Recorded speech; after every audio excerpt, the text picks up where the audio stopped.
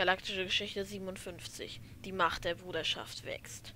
Exakun und Oleg Zeldruma vereint zur Bruderschaft der Sith machten sich daran, ihre Kräfte zu sammeln. Exakun suchte auf Ossus nach Jedi, die zu seinem neuen Orden konvertiert wurden. Es, tötete Meister Oda an die Uhr und einen mächtigen Sith-Holokron an sich zu bringen.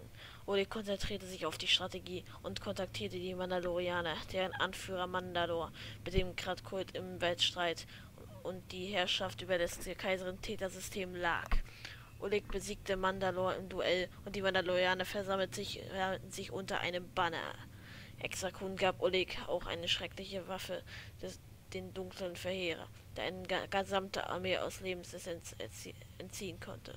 Oleg tretete den dunklen Verheer gegen die republikanischen Truppen auf Rexus Prime und tötete dabei die, die ganzen Hundertschaften mit dem dunklen Verheer des mandalorianischen Kreuzrittern, den Nastasi-Kriegern und Exakons grauenhaften alchemistischen Schöpfung war die Bruderschaft der Sith endlich bereit, die Republik herauszufordern.